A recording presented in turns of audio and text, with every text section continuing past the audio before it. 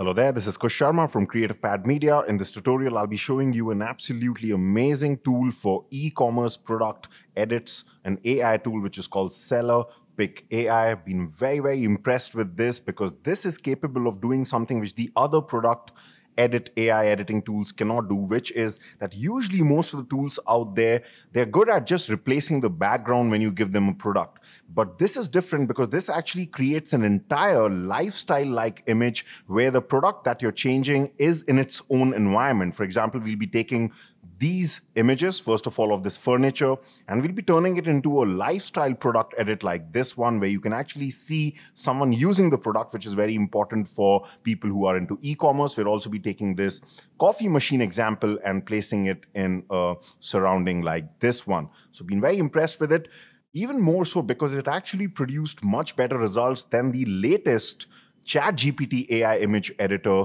that has recently come out.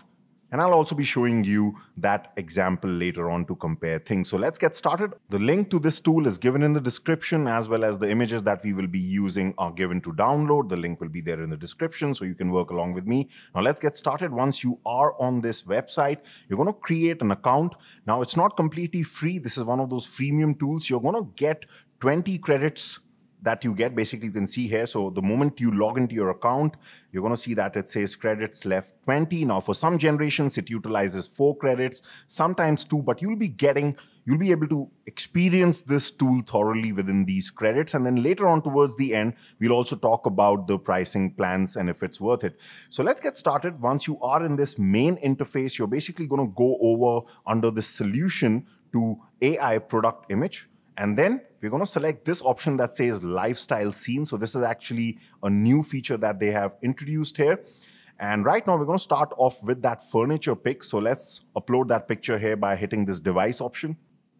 All right, so you can see that this is just uploading our image.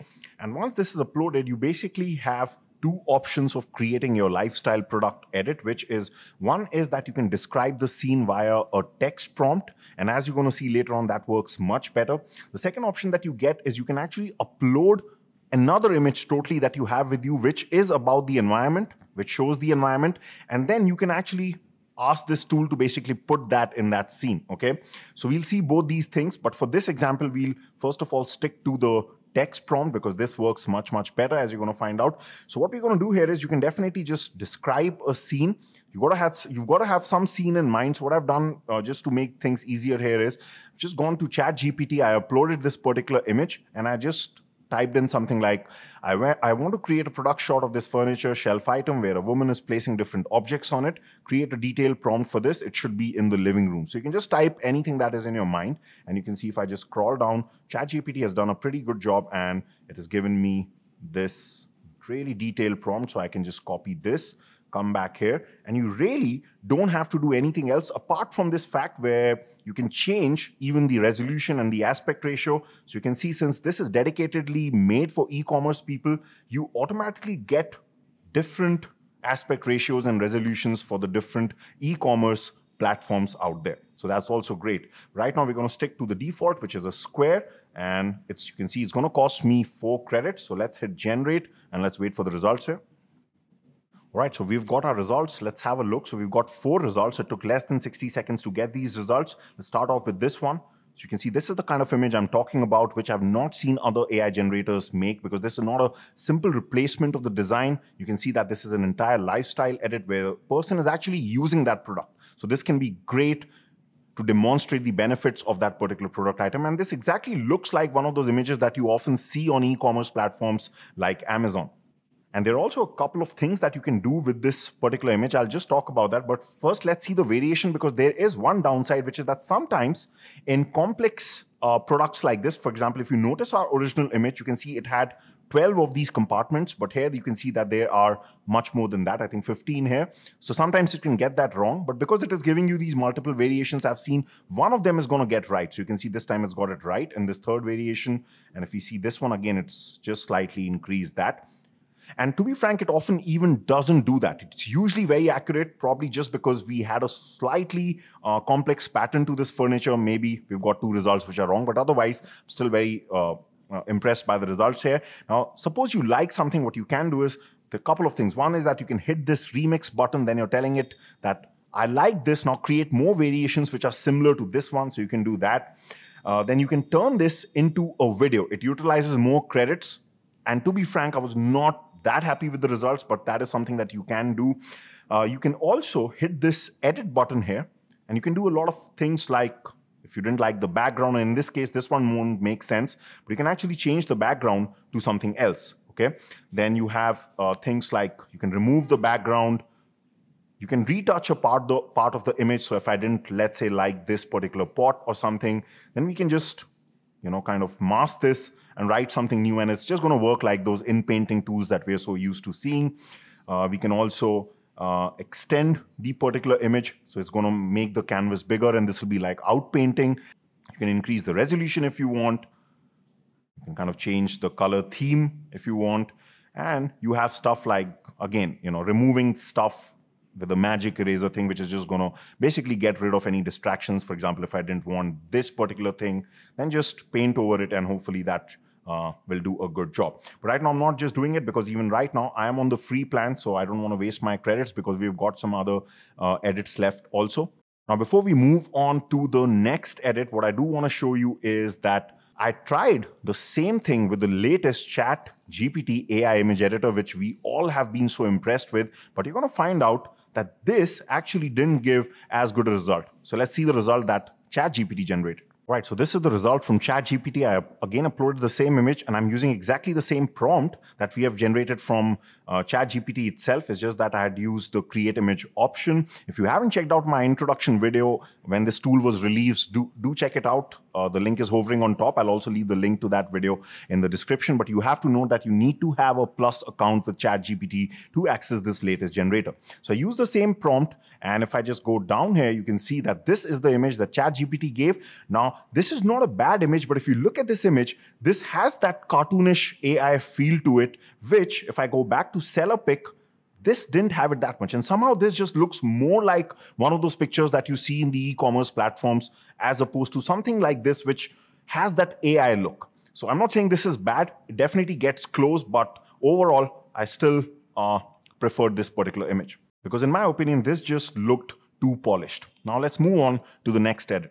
All right, so this time we have this image of this coffee machine and this is really going to help us determine whether it maintains the consistency also or not because you can see that it has the name of the product written, the text is there. So we're going to see if it maintains those letters. And you can see there are a lot of intricate details like some buttons, the different meters out there. Let's see when it finally produces that image, does it maintain everything? So again, the process remains the same. The first thing I've done here is I went over to ChatGPT. The prompt for this after uploading the image was I'm creating a product edit for this coffee machine. It is placed in a kitchen kitchen-like environment and a coffee mug is being filled with black coffee. Create a prompt for this. And we got this nice prompt. We're going to go back to SellerPic. Let's upload this coffee, pick, uh, coffee machine pick here.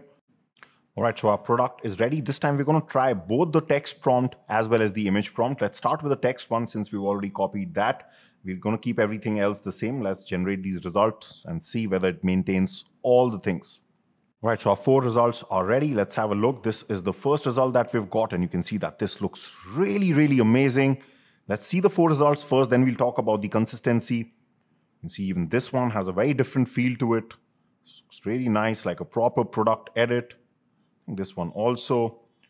And finally, we've got this one. So now if we just compare, just to see the consistency, you can see this right next to the main image of the coffee machine and you can see it's just maintained the text, all those little buttons, the meter, everything is exactly the same. And the way it is positioned, that coffee mug with the coffee dripping, this looks like those proper e-commerce shots. So very, very impressive. However, when I did try the image prompt before, things didn't really work that well. Let's see what happens this time. So for this one, I've got this image and how things are going to work is we're just going to upload this image, which is of another coffee machine, but let's say we like the environment in it, and we just want this to be replaced basically with our own coffee machine.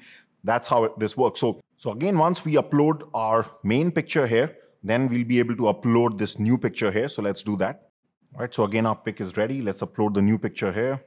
And the moment you do that, it basically brings you over to this particular interface where what you can do is just brush over the area so that you can tell it to replace this with the new picture.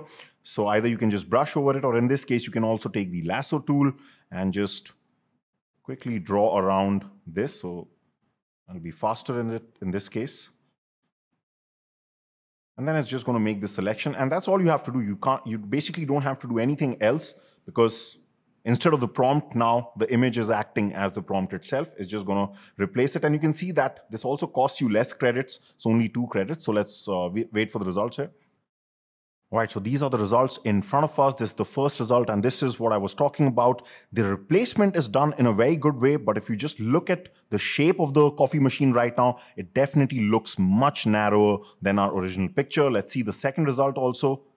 And I think both the results are pretty much going to be the same since it's replacing from the image this time. But you can see even in this result, the body looks much thinner. So probably can work, but only for products that are very simple and not too complex like this. Before I close this video, let's just quickly uh, talk about some important things, which is how much does this exactly cost? So if you are willing to pay on a monthly basis, it's not bad at all. You get 500 credits per month only for $29. Also, I should point out on the free plan, when you do download the image, it has those better watermarks, so you should be aware about that. And also, I do plan on taking the paid account for this tool so that I, I can experiment a lot more because it's other tools apart from these product edits. They also have things like jewelry replacement for models, real models, clothes swapping tools, other types of product edits, and from what I could see, the quality that I was seeing in those examples that they're shown I was extremely, extremely impressed because they looked very, very real and at the same time very commercial also, which is important in this case. So if you want to follow along all these experiments, make sure you subscribe. And in case this video helped you out, do give it a like and I will see you next time.